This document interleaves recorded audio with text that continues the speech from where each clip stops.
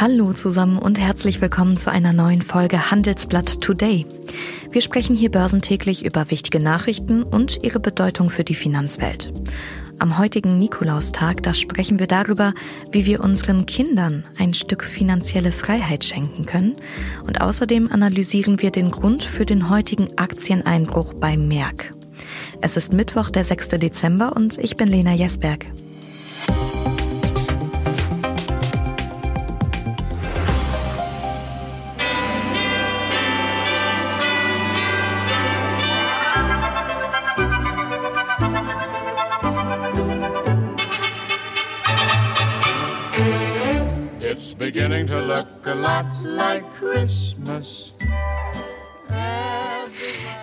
Bisschen Weihnachtsstimmung muss an so einem Tag schon sein, finde ich. Vor allem, da es bei uns heute um eine der schönsten Nebensachen der Welt geht, um Geschenke.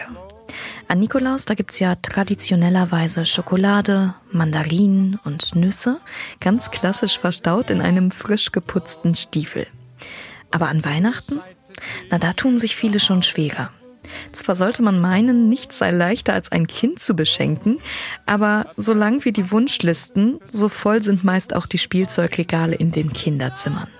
Und deshalb machen wir uns heute auf die Suche nach sinnstiftenden Geschenken. Genauer nach Geldgeschenken zu Weihnachten, die ihren Kindern, Enkeln oder ja, vielleicht auch kleinen Geschwistern im besten Fall den Weg in eine finanziell sichere und freiere Zukunft ebnen.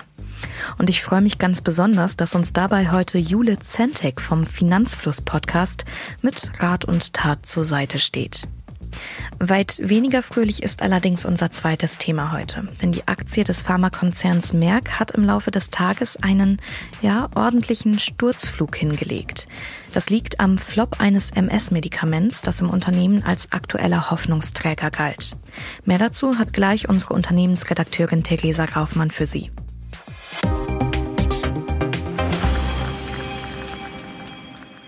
Bevor es soweit ist, darf ich jetzt aber erstmal meine Kollegin Judith Henke aus unserer Finanzredaktion in Frankfurt begrüßen. Hallo. Hallo Lena.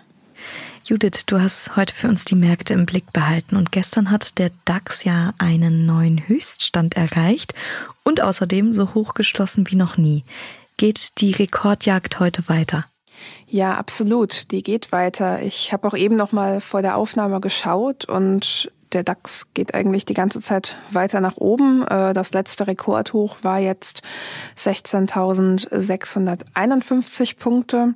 Mhm. Ja, aber ehrlich gesagt wundert mich das ein wenig, weil ja der Aktienmarkt in den USA eher vor sich hin dümpelt und es gab auch offenbar bisher noch kaum Gewinnmitnahmen, was man ja eigentlich als Anleger intuitiv bei so einem Rekordhoch gerne mal macht. Naja, vielleicht setzen die Anleger darauf, dass der Dezember gewohnheitsmäßig ein guter Monat für Aktien ist, aber ich glaube, das wäre als Argument zu dünn. Ähm, was ich für ja, stichhaltiger halte, ist, dass der Markt glaubt, dass die Fed und vielleicht auch die EZB doch früher die Zinsen senken werden als gedacht. Mhm. Aber ich halte es für mindestens fraglich, dass diese Rekordjagd jetzt ewig so weitergehen wird. Also ich würde sagen, Anleger sollten daher eher auf Trendwende-Signale achten. Also eins wäre, wenn man am selben Handelstag erst ein Rekordhoch sieht und es dann eine sehr starke Verkaufsneigung am selben Tag gibt. Zum Beispiel so wie bei Gold am Montag. Ja, genau, exakt. Also Gold hat im gewohnheitsmäßig sehr dünnen asiatischen Handel ein Rekordhoch erreicht und dann am selben Tag vier Prozent wieder abgegeben, also von diesem Allzeithoch aus gesehen. Und äh, ja, auch heute liegt Gold weiterhin tiefer, aber ich will hier betonen, ähm, dass es immer noch eher so ein Luxusproblem. Gold ist immer noch enorm teuer. Zur Erinnerung, zuletzt lag Gold im Mai über 2000 Dollar, dann nochmal Ende Oktober und nun seit Ende November fast immer. Und das ist erstaunlich, wie viele Anleger sich dann direkt an diese 2000 Dollar Marke gewöhnt haben. Mhm. Das ist nämlich wirklich deutlich höher als von vielen Analysten, mit denen ich gesprochen habe, in den letzten Monaten erwartet. Ein Beispiel, die UBS beziffert den fairen Wert von Gold derzeit bei 1000 950 Dollar, also deutlich niedriger. Sie glaubt, dass die möglichen Zinssenkungen der Fed zu stark eingepreist wurden. Das heißt, auch hier sollten Anleger weiterhin vorsichtig bleiben. Ja, das ist gut zu wissen, zumal Gold keine laufenden Erträge bringt, anders als viele Aktien. Und hier gibt es zum Thema Dividenden neue Erkenntnisse. Judith, welche Unternehmen dürften denn 2024 ihre Dividenden erhöhen? Ja, laut einer Handelsblattprognose werden die DAX-Konzerne im nächsten Jahr so viel ausschütten wie noch nie. Die Dividenden könnten sich demnach auf 52,4 Milliarden Euro summieren. Das sind 1,5 Prozent mehr als in diesem Jahr und, das finde ich viel interessanter, doppelt so viel wie vor zehn Jahren. Mhm. 21 der 40 DAX-Konzerne dürften ihre Dividende erhöhen, darunter etwa SAP, E.ON und RWE und alle Finanzdienstleister. Angekündigt, dass sie ihre Ausschüttung erhöhen, haben schon Siemens, Infineon und die Deutsche Telekom. Wechseln wir dann mal vom DAX zum MDAX, Judith. Da gibt's heute mehrere Indexwechsel, richtig? Ja, wir haben da zwei Wiederaufsteiger, den Immobilienentwickler Roundtown und den Chiphersteller Siltronic. Die stiegen vor etwa einem halben Jahr in den S-DAX ab, aber seit Ende Juni legte die Aroundtown-Aktie mehr als 120 Prozent zu und auch die Siltronic-Aktie, die stieg immerhin um mehr als 20 Prozent und daher eben die Rückkehr in den MDAX. Platz machen für die beiden müssen Pro7 Sat1 Media und der Maschinenbauer Dürr, deren Aktien sich seit Jahren im Sinkflug befinden. Drei mhm. Unternehmen, die zuvor in keinem Index notiert waren, haben den Aufstieg in den S-DAX geschafft. Darunter Schott Pharma, das ist ein Börsenneuling, äh, im Prinzip das Tochterunternehmen des Glasspezialisten Schott. Und es ist auf Arzneimittelverpackung aus Glas und Kunststoff spezialisiert. Ja, Schott Pharma ging erst Ende September an die Börse und ist mit 935 Millionen Euro der größte deutsche Börsengang in diesem Jahr. Außerdem sind in den S-DAX noch der Finanzinvestor Mutaris und der Pumpen- und Armaturenhersteller KSB aufgestiegen. Also einiges an Fluktuation. Über Schott Pharma haben wir übrigens auch hier bei Today gesprochen, wer da nochmal reinhören will. Ähm, Judith, zu guter Letzt ein Blick in die USA. Auf welche Aktien sollten wir hier achten? Ja, hier habe ich mir jetzt mal eine eher ja, so eine kuriose äh, Geschichte rausgepickt. Und zwar, wenn wir derzeit in die sozialen Netzwerke schauen, dann ist da ein Thema ziemlich beherrschend. Es gab gestern einen ersten offiziellen Trailer für den neuesten Teil von GTA. Das ist ein wirklich sehr beliebtes PC-Spiel. GTA mhm. stammt aus der Schmiede von Rockstar Games. Die sind wiederum eine Tochterfirma von Take-Two Interactive. Und diese Aktie das mag erstmal überraschen, die fiel gestern in der Spitze um 3,6 Prozent. Okay. Fragt man sich, warum? Naja, im Trailer fehlt ein wie ich finde, wichtiges Detail, nämlich das Veröffentlichungsdatum. Oh. Das heißt, die Angst ist jetzt da, dass die Veröffentlichung immer weiter rausgeschoben wird und dann vielleicht noch bis Weihnachten 2025 dauert. Ja, und deshalb denke ich, auch heute könnte die Aktie weiterhin bewegt bleiben. Das ist ja weiterhin eben ein Trendthema. Aus Anlegersicht ist es übrigens überhaupt nicht sinnvoll, auf den Launch eines einzelnen Produkts zu wetten. Damit kann man sehr auf die Nase fallen, kann ich auch aus eigener Erfahrung sagen. Damit haben wir doch nochmal ein schönes Learning zum Schluss. Judith, herzlichen Dank. Gerne. Und auch heute möchte ich Sie, liebe Hörerinnen und Hörer, gern darauf hinweisen, dass wir hier bei Handelsblatt Today ausdrücklich keine Anlageempfehlungen geben. Alles, was wir hier besprechen, dient also ausschließlich Ihrer Information. Nach einer kurzen Unterbrechung geht es gleich weiter. Bleiben Sie dran. Zukunft ist, was wir daraus machen. Davon bin ich, Andrea Wasmuth, Geschäftsführerin der Handelsblatt Media Group, überzeugt. Und deswegen haben wir Pulse, das exklusive Wirtschaftsnetzwerk der Handelsblatt Media Group, gegründet. Mit Pulse wollen wir einflussreiche weibliche Köpfe vernetzen, um sich branchenübergreifend zu relevanten Wirtschafts- und Karrierethemen auszutauschen. Ich bin mir total sicher, durch einen offenen und vertrauensvollen Austausch schaffen wir es, den vielfältigen Herausforderungen unserer Zeit noch besser zu begegnen und die Zukunft gemeinsam positiv zu gestalten. Informieren Sie sich jetzt und werden auch Sie ein Teil davon. Ich freue mich schon sehr auf Ihre Bewerbung für diesen ausgewählten Kreis unter pals.handelsblattgroup.com.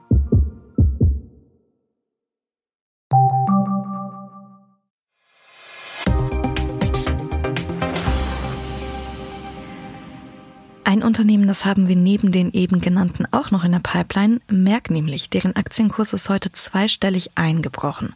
Und darüber spreche ich jetzt mit meiner Kollegin Theresa Raufmann. Hallo. Hallo. Theresa, und diese offenkundige Enttäuschung bei den Aktionären, die hat ihren Ursprung beim Mittel Evobrutinib. Das ist ein Medikament gegen multiple Sklerose und hier gab es einen herben Rückschlag. Was ist passiert?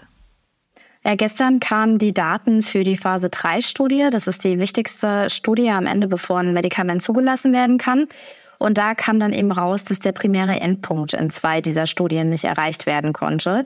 Die haben das Medikament getestet mit einem Vergleichsmedikament und es hat eben nicht besser abgeschnitten als das Vergleichsmedikament, was bedeutet, dass sie dieses Mittel, so wie sie es geplant haben, eben nicht einsetzen können. Und da mussten sie dann gestern Abend auch eine Ad-Hoc-Mitteilung rausgeben, als sie diese Ergebnisse mhm. bekommen haben.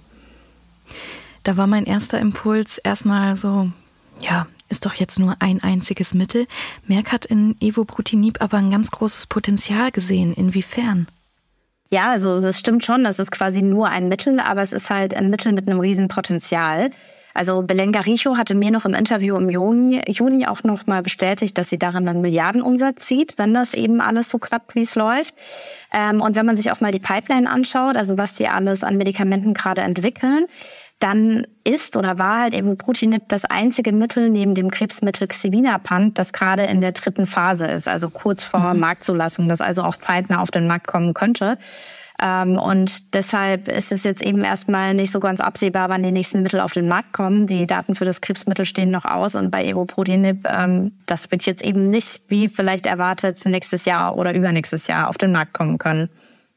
Vor allem ist das ja auch nicht der erste Rückschlag für Märkten im Pharmageschäft. Wir erinnern uns an 2021, da erst ist auch ein Krebsmittel durch die Studien gefallen. Hat das Unternehmen in den anderen Sparten denn mehr Erfolg? Also normalerweise ergänzt sich das bei denen im Geschäft immer relativ gut. Dieses Jahr ist aber prinzipiell auch ziemlich schwierig bei Merck. Äh, die haben auch schon das ganze Jahr gesagt, 2023 ist ein Übergangsjahr. Das Problem ist, sie haben ja noch die beiden Sparten Life Science und Electronic und der Life Science Bereich, das sind so äh, Laborausstattungen für andere Pharmaunternehmen zum Beispiel. Die haben halt während Corona extrem profitiert, weil die ganzen Leute halt eben Ausstattung gebraucht haben. Äh, da ging die Nachfrage extrem zurück, was sie eben stark spüren an den Zahlen. Und auch im Electronics-Bereich, da schwächelt Da liefern die zum Beispiel Materialien für Chips zu. Und da gibt es gerade insgesamt eine ähm, Abschwächung, die zyklusbedingt ist. Ähm, genau, das heißt, es sind gerade irgendwie die beiden Bereiche Life Science, Electronics schwach. Pharma ist eigentlich aktuell relativ stark, aber jetzt ist natürlich die Frage, wie es bei Pharma mit dem Wachstum weitergeht oder auch nicht. Hm. Übergangsjahr heißt für mich aber erstmal, es ist äh, Licht am Ende des Tunnels sozusagen. Wie schätzt du vor diesem Hintergrund die Zukunftsfähigkeit von Merck ein? Also selber haben sie angekündigt, ab nächsten Jahr auch wieder wachsen zu wollen. Ähm, prinzipiell ist das Geschäftsmodell aus diesen drei Pfeilern, die sie haben, halt eigentlich relativ solide äh, weil es halt eigentlich immer so ist, wenn eins gerade nicht so stark ist, dann ziehen die anderen mehr an und sich das immer ganz gut ausgeglichen hat. Ähm, es heißt zwar an der Börse ab und an gibt es ein paar leise Stimmen, die sagen, wir sollten das Geschäft vielleicht auch aufspalten, aber hinter Merck steht ja auch noch die Eigentümerfamilie, die auf jeden Fall dafür ist, dass man eben mit allen diesen drei Sparten weitermacht, weil das eigentlich bisher immer auch den Wert gesichert hat und eben die Zukunftsfähigkeit ähm, auch gesichert hat. Mhm. Genau. Was müsste denn passieren aus deiner Sicht, um die Aktionäre wieder zu besänftigen? Also im Pharmabereich, da muss Merck einfach weiter an der Pipeline arbeiten. Die haben auch schon angefangen, ich glaube 2021, dass sie auf die Forschung und Entwicklung im Pharmabereich angefangen haben umzustrukturieren, um da einfach wieder stärker zu werden um wieder mehr auch einfach in die Pipeline zu kriegen. Was auch denkbar ist, wenn jetzt im Pharmabereich zum Beispiel auch externe Zukäufe, das hat auch der Leiter der Forschungs- und Entwicklungsabteilung jetzt auch schon gesagt, dass das eine Option ist. So könnte man halt dafür sorgen, dass man jetzt auch neue Mittel quasi wieder in die Pipeline kriegt. Ähm, wahrscheinlich dann aber eher Mittel, die noch nicht ganz irgendwie in Phase 3 sind, sondern in Phase 2, weil sonst wird das einfach zu teuer. Theresa, und damit danke ich dir für deine Einordnung. Sehr gerne. So, und jetzt folgt extra für alle Mamas und Papas, Omas und Opas, große Schwestern und Brüder, Tanten, Onkel und so weiter ein kleiner Geschenkeguide für Kinder und zwar ganz in Today-Manier. und auch in Finanzflussmanier, denn ich bin mir sicher, ganz viele von Ihnen kennen auch diesen tollen Geldanlage-Podcast und damit auch dessen Moderatorin Jule Zentek. Hallo. Hallo, danke für die Einladung. Jule Today-Manier, Finanzfluss-Manier. Das bedeutet in diesem Kontext, wir wollen kein Spielzeug schenken, wovon die meisten Kinder vermutlich mehr als genug haben, sondern etwas, das zur ja, finanziellen Freiheit beiträgt. Ein Stück weit zumindest. Was wären denn für dich drei gute Gründe, einem Kind bzw. Jugendlichen Wertpapiere zu Weihnachten zu schenken? Mhm. Also erstmal das, was du gerade schon angesprochen hast. Äh, Kinder haben sehr viel Spielzeug und gerade wenn sie noch kleiner sind, ist es ja meistens so, dass sie mit sehr wenig sehr glücklich sind und dann kann man dieses Budget, was man eben für Geschenke dann vielleicht noch übrig hat, weil man sich das irgendwie so zurechtgelegt hat, besser woanders rein investieren und dann ist das Oldschool-Sparen natürlich eher nicht so die beste Art und Weise, sondern dann lieber ja irgendwie anlegen ähm, in Aktien, ETF-Sparplan, was man dann eben machen möchte. Und ich würde sagen, ein erster Grund ist auf jeden Fall ein Finanzpolster fürs Kind. Man weiß nie, was das Kind mal machen möchte, was dann noch kommt.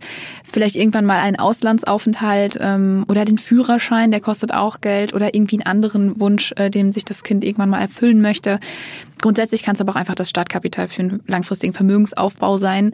Und ähm, das klingt dann vielleicht nicht so schön für ein Kind, aber ähm, wenn man das mal perspektivisch sieht, könnte das eben ein guter Grund sein. Und, das finde ich ganz wichtig, auch ähm, zur finanziellen Bildung beitragen von einem Kind, weil natürlich umso älter das Kind wird, umso mehr kann man das Kind dann auch einbeziehen und so ein bisschen zeigen, wie Geld investieren funktioniert, ähm, was da passiert und das Kind dann da so ein bisschen mitnehmen und darüber sprechen, ist, glaube ich, ganz, ganz wertvoll. Schöne Punkte auf jeden Fall. Ich glaube, was auch wichtig ist, ähm, je früher, desto besser. Ne? Das mhm. ist immer so ähm, für die langfristige Geldanlage ein Punkt. Äh, da kann man eigentlich gar nicht früh genug starten. Und ähm, auch die Tatsache, ähm, dass man, es ist ja auch einfach, man macht sich selber leicht. Ne? Man kann zu jedem Geburtstag, zu äh, Kommunion. Genau, all die ähm, Ereignisse, die anstehen. Alle großen Ereignisse, mhm. jedes Weihnachten. Man hat quasi schon ein Geschenk, weil man natürlich immer weiter darauf einzahlen mhm. kann. Falls noch nicht vorhanden, dann braucht der Beschenkte, dann braucht das Kind jetzt natürlich erstmal ein Depot. Da gibt es für Kinder bei vielen Brokern oder Banken mittlerweile Junior-Depots, mhm. ähm, die dann die Erziehungsberechtigten unter Vorlage der Geburtsurkunde eröffnen können. Das heißt, da können dann auch mit Vollmacht äh, die Großeltern oder Bekannte drauf anlegen, wenn die für das Kind sparen möchten. Also ist eigentlich ganz einfach. Trotzdem gibt es da ein paar Sachen, auf die man idealerweise achten sollte, nämlich. Auf jeden Fall. Also ich glaube, erstmal ist wichtig zu sagen, es gibt weniger Auswahl, als man das jetzt vielleicht kennt, wenn man sich selbst das eigene Depot anlegen möchte. Also es gibt weniger günstige Broker. Ähm, die ganzen Neo-Broker, Trade Republic und äh, Scalable, die fallen schon mal raus. Die bieten das aktuell zumindest nicht an. Dann sollte man wissen, dass ähm, die Depot- und ja, Ordergebühren auch ein bisschen anders aussehen. Die, ja, die meisten Junior-Depots, die fordern keine Depotführungsgebühren, aber bei einigen zahlt man dann eben für jede Transaktion. Und da unterscheiden sich die Kosten auch sehr. Also es gibt Anbieter, die berechnen prozentual je nach Ordervolumen. Mhm. Dann gibt es die, die einen Fixpreis pro Ausführung verlangen. Die meisten haben da auch so ein Misch aus prozentualen äh, Kosten äh, pro Sparrate und ähm, ja eben so, so einem Fixpreis. Und ähm, ja, wir würden, also ich würde sagen, so ein Fixpreis ist immer gut, wenn man eine hohe Sparrate hat, dann macht das einfach, äh, also ist das, kommt man meistens günstiger weg, sage ich mal so. Ja, wichtig ist, glaube ich, wenn man dann ähm, statt einem Sparplan vielleicht auch diese Einmaleinlagen hat, wie man sie dann jedes Jahr an Weihnachten oder so hätte, dass man äh, ja dann äh, am besten die Variante wählt, dass man den Sparplan, weil die Sparplankosten meistens günstiger sind als die Kosten für die Einmalanlage, dann einmal erhöht, dass man da einmal ähm, ja quasi einmal den Sparplan ähm, mit einer größeren Summe ausführt mhm. und es dann wieder rückgängig macht, weil so kann man dann eben da auf jeden Fall Gebühren sparen. Das heißt, Flexibilität hast du da in den Raten genau. auch. Genau das, also dass man sich dann eben das so ein bisschen sich äh, da die die Minimalgebühren irgendwie äh, schafft, dadurch, dass man einfach dann diese Sparplanvariante wählt für die Einmalanlage. Genau. Natürlich sollte man trotzdem mal schauen, welche Sparpläne sind denn auch kostenlos besparbar. Das gibt mhm. es auch bei einigen Anbietern. Ich würde auch sagen, dass äh, die Mindestsparrate eine Rolle spielt, möglicherweise, je nachdem, wie oft man dann noch einfach Geld anlegen ähm, möchte. Und ähm, wichtig ist auch, dass man bei einem Junior Depot, du hast es gerade schon gesagt, man braucht die Geburtsurkunde. Also ist alles ein bisschen aufwendiger. Und bei einigen Anbietern muss man da wirklich noch alles ausdrucken und wegschicken. Und das ist mehr Papierkram. Und äh, da kann man sich, glaube ich, auch Gedanken drüber machen, ähm, bei wem das vielleicht am besten äh, funktioniert. Ähm, wir haben das nämlich auch schon mal verglichen und uns das angeschaut, wer, wer macht das wie. Und ich glaube, da das, das kennt man vielleicht so nicht, sollte man aber einfach im Kopf haben, dass es ein bisschen aufwendiger ist. Also vielleicht nicht auf den letzten Drücker einen Tag Genau. Vollen Zugriff hat das Kind dann selbst, sobald es 18 wird, ne? Genau, beim Junior Depot auf jeden Fall, ja. Okay. Wichtig ist noch, die Eltern oder wer auch immer dieses Junior Depot bespart, die sind in dem Zusammenhang bis dahin sozusagen ja nur die Vermögensverwalter. Ja, genau. ähm, sie dürfen das Geld also nicht mhm. ausgeben. Das ist anders, wenn Sie in einem eigenen Depot auf Ihren Namen für das Kind sparen und die Wertpapiere dann später mal übertragen? Was ist denn sinnvoller? Mhm. Ich glaube, das kommt sehr darauf an, wie man es selber gerne für sich haben möchte. Also mhm. einerseits, ähm, wenn man es im Zweitdepot macht, dann hat man eben oder kann man selber eben über das Geld verfügen. Äh, das ist genau, was du schon gesagt hast, bei einem Junior Depot nicht so einfach. Da muss man schon, wenn man da Geld abziehen möchte, muss man das gut begründen. Ähm, das ist auf jeden Fall ein Punkt. Der zweite Punkt sind auf jeden Fall steuerliche äh, Unterschiede. Beim Junior Depot habe ich einfach den Vorteil, dass das Kind selber als ja, Person gilt und eben da ähm, der eigene Steuerfreibetrag gilt. Das ist eben der Nachteil beim Zweitdepot, dass dann eben alles auf meinen eigenen Namen laufen würde, auch das Depot des Kindes und dann natürlich der Steuerfreibetrag sehr schnell mal überschritten sein kann. Und ja, liegen die Einkünfte eben darüber, muss man dann ähm, ja auf 25 Prozent Kapitalertragssteuer zahlen. Und dieser Steuerfreibetrag, der liegt eben für eine Person bei 10.900 8 Euro 2023. Und wenn man das dann einfach nochmal fürs, fürs Kind hat, plus den Sparerpauschbetrag, dann kommt man ja fast auf 12.000 Euro, mhm. die nicht versteuert werden müssen. Und da ist natürlich dann einfach der Vorteil beim Junior Depot, äh, dass man den nutzen sollte. Wichtig. Wie sieht das steuerlich bei der ähm, dabei aus, wenn ich dann mein Depot doch verschenke? Genau, das ähm, ist ganz interessant, weil natürlich, wenn ich im Zweitdepot spare, dann habe ich ja das Ziel, das irgendwann dann auch dem Kind äh, zu übergeben, im besten Fall, sage ich mal. Und ähm, man kann dann dadurch, dass man wirklich bei diesem Übertrag einmal wirklich angibt, das ist hier eine Verschenkung. Es handelt sich dabei nicht um, ja, das, um einen Verkauf, weil das ist nämlich der Punkt, wenn ich das nicht richtig kommuniziere meiner Bank oder meinem Broker, dass das dann als Verkauf gilt und dann eben auch die Kapitalertragssteuer anfällt, ähm, dass man das von vornherein gut klar macht. Also das kann mhm. man teilweise einfach mit dem Verwendungszweck machen. Bei manchen muss man aber auch nochmal was ausfüllen. Also das kommt so ein bisschen drauf an, sollte man sich vorher Gedanken machen, denn die Steuer sollte man äh, sich sparen. Und dann ist auch nochmal ganz wichtig, dass natürlich ab einer bestimmten Höhe auch bei Schenkungen eine Steuer anfällt. Stimmt. Die ist recht hoch. Also in zehn Jahren dürfen Eltern ähm, ihren Kindern ja, ein Vermögen von 400.000 Euro verschenken, alle zehn Jahre. Und ähm, liegt dann dieses Depot quasi mit seinem, mit dem Geld da drin, mit dem Vermögen darüber, dann ähm, fällt eben diese Steuer an. Die ist dann wieder abhängig vom Verwandtschaftsgrad. Also je mehr, je näher man sich steht, sag ich mal, desto günstiger fällt die Steuerbelastung aus. Äh, für Enkelkinder gilt, also wenn ich jetzt Großmutter bin und meinem Enkelkind äh, das Depot dann eben vermachen möchte, da ähm, sind, liegt diese Steuerfreigrenze bei Verschenkungen bei 200.000 Euro, also schon mal niedriger. Und wenn es dann zum Beispiel darum geht, dass ich meinem, meiner Nichte oder meinem Neffen irgendwie das Depot dann übergeben möchte, dann sind es sogar nur 20.000 Euro. Mhm. Also umso weniger nah man sich steht, also umso näher man direkt verwandt ist, ähm, desto mehr Freibetrag habe ich und eben in die andere Richtung andersherum. Das glaube ich ganz wichtig zu wissen, ähm, falls man dann eben im Zweitdepot sparen möchte. Wichtig zu wissen fürs Junior Depot wiederum ist, dass es auch angerechnet wird aufs BAföG. Genau, das darf man auch nicht vergessen. Also Vermögen von mehr als 15.000 Euro wird auf diesen BAföG-Antrag angerechnet und das schmälert dann eben den Höchstsatz. Und ich sage mal 15.000 Euro, da kann man schon mal schnell drauf kommen. Also da sollte man, sollte man einfach im Hinterkopf haben.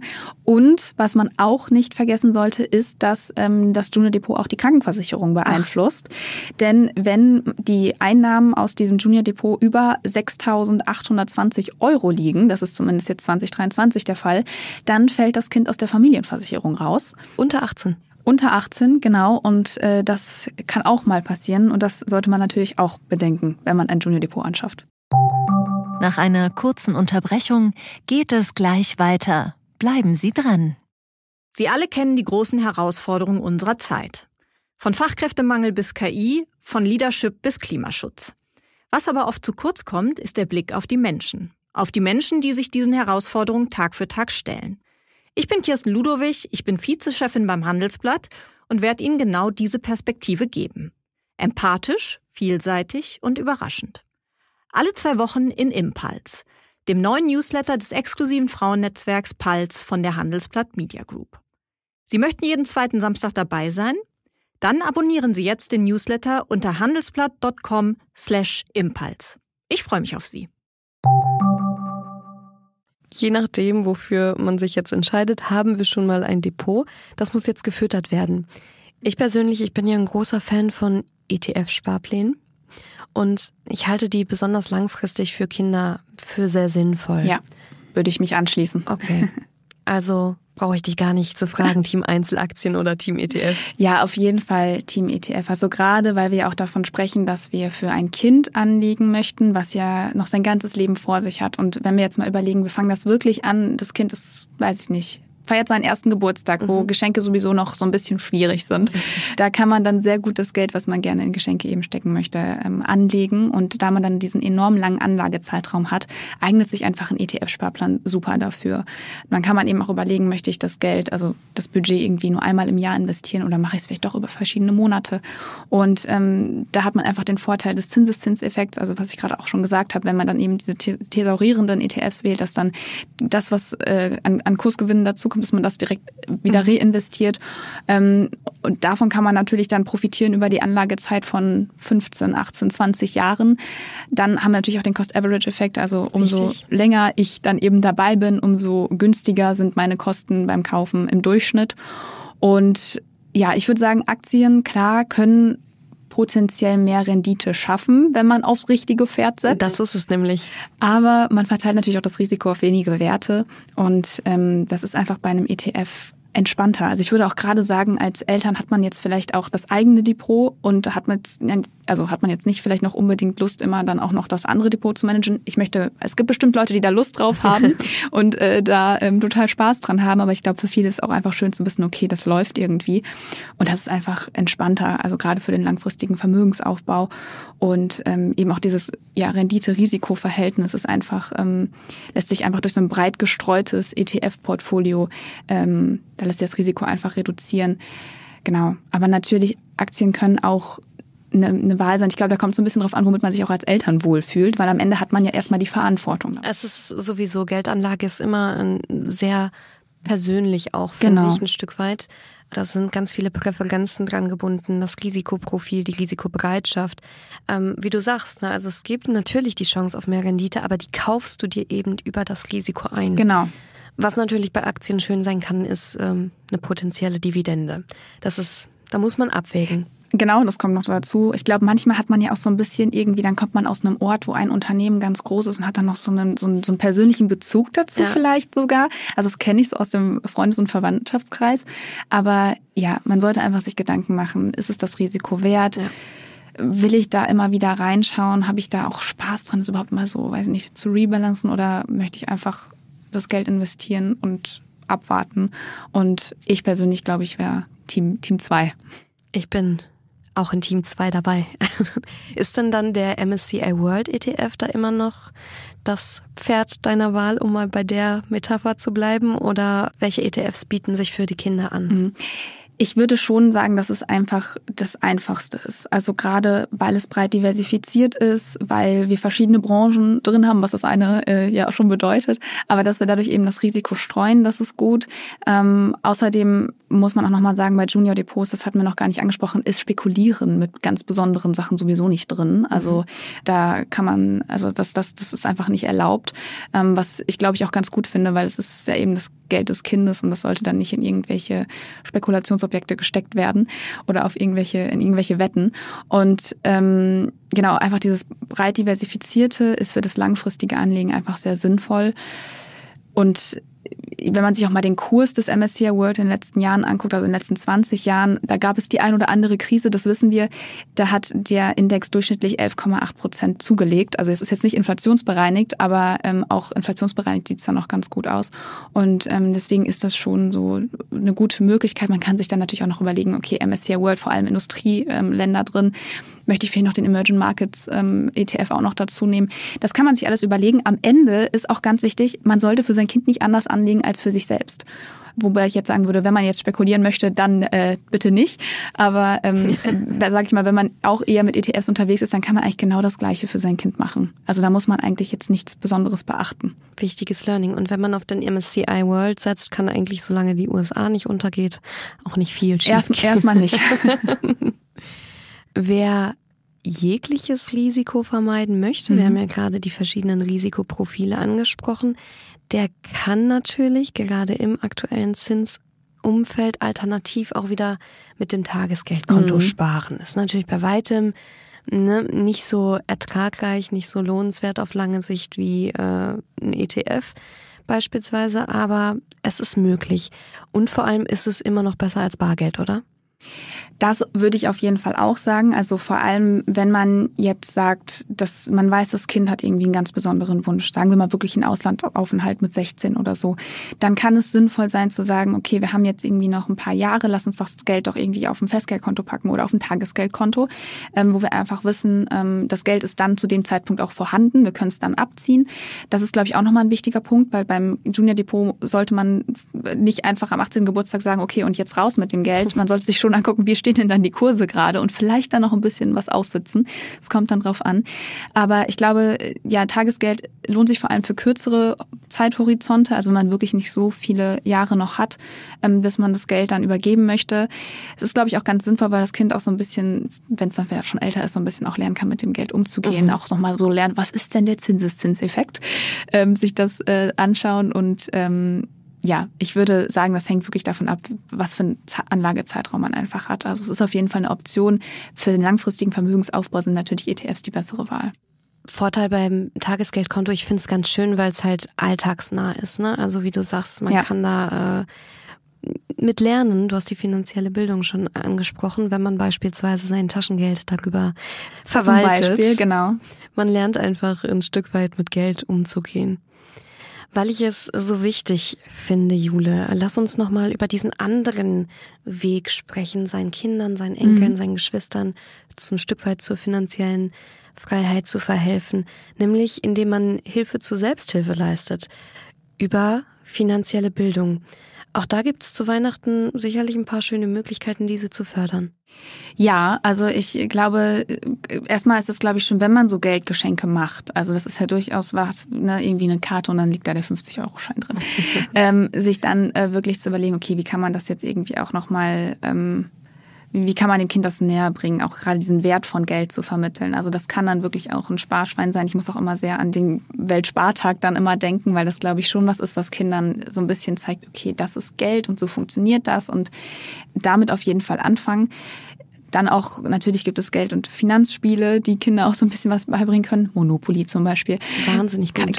Wunderbar, dauert auch gar nicht lange. Ich erinnere mich da an stundenlange äh, Spielerunden. Es gibt aber natürlich auch Finanzbücher für Kinder und Jugendliche, ganz tolle, die so sehr spielerisch erklären, was ist Geld, wo kommt das her, warum ist das wichtig. Ich finde aber auch ganz wichtig im Alltag und gar nicht mehr nur an Weihnachten auch einfach darauf zu achten, das Kind mit einzubeziehen, das Kind mal bezahlen lassen. Vielleicht auch wirklich mit so ein bisschen Taschengeld anzufangen. Das können ja auch erstmal nur ein Euro pro Woche sein, aber mhm. dem Kind so ein bisschen was zu vermitteln und zu sagen, guck mal, du hast jetzt vier Euro, ähm, davon könntest du dir jetzt die Süßigkeiten kaufen, die ich dir heute nicht kaufen möchte, aber du kannst sie von deinem Geld bezahlen. Und ich glaube, das ist total sinnvoll. Das kann man, ähm, ist jetzt nichts, was nur Weihnachten angeht, aber ähm, ist, glaube ich, sehr ähm, eine gute Möglichkeit. Und dann natürlich auch, umso älter das Kind wird, es auch beim Junior Depot mitentscheiden lassen. Also mhm. mit mal reingucken, mal so ein bisschen erklären. Ähm, weil ich glaube, natürlich muss man auch so einem Kind klar machen, okay, du kriegst gerade äh, nicht so viel zu Weihnachten wie vielleicht andere, weil wir haben uns entschieden, dass wir einen Teil von dem Budget immer aufs Junior Depot packen möchten von dir und das dem Kind dann, wenn es das versteht, mal klar zu machen, ist glaube ich auch äh, ganz sinnvoll. Kommunikation ist da sehr sehr wichtig. Also ich mhm. glaube, die Eltern oder wer auch immer, man muss da einfach als Vorbild vorangehen, Auf weil Fall, ja. du sozialisierst ja dein Kind entsprechend. Das ist was, was wir ganz oft sagen. Man muss über Geld reden Ja. und das fängt zu Hause an. Ja, Jetzt gibt's natürlich noch ganz viele weitere Assets, die man sich anschauen kann, aber man muss auch sagen, die meisten eignen sich für die meisten allenfalls als ja, kleinere Beimischung zum Portfolio, gerade wenn es eben um den langfristigen Vermögensaufbau geht. Wobei man natürlich auch sagen muss, so ein Goldbarren unterm Weihnachtsbaum würde schon was hermachen. Dennoch, ich glaube, das wäre jetzt auch hier alles zu viel. Jule, deshalb dir ganz herzlichen Dank. sehr gerne.